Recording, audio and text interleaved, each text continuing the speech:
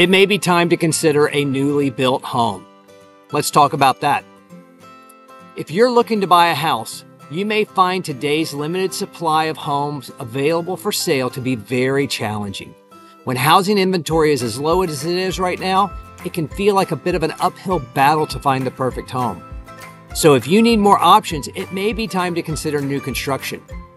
According to the latest data from the US Census, there's positive news when it comes to new home construction.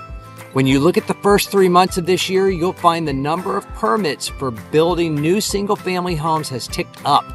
That shows that builders are ramping up to start on even more home construction. And while this is all good news, there are other perks that come with considering new construction. When you buy a new home under construction, you can tailor it to your unique needs and tastes. Building means customizing. Instead of wishing you had a certain kind of flooring in a sunroom or some other special amenity, you'll be able to tailor the property to your exact wants and needs. And another perk of a new home is that, well, it's new, it's brand new, and uniquely yours from the day one. And because everything is new, you'll likely find there are few maintenance and repair needs up front. And more times than not, there are manufacturer and builder warranties that accompany such a purchase.